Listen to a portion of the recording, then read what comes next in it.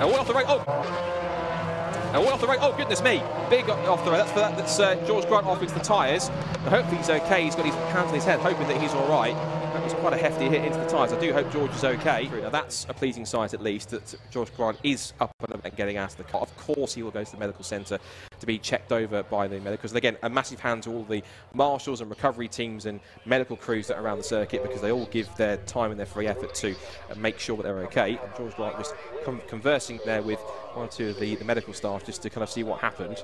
And uh, just communicating that. He's not had the luckiest of weekends as George this weekend. He had a he's involved in the incident uh, which caused which saw us have to have an early stoppage in the first race, and unfortunately, in just two laps in, involved another one. But as I say, he's up and about and walking, but he's also waved to the crowd as well.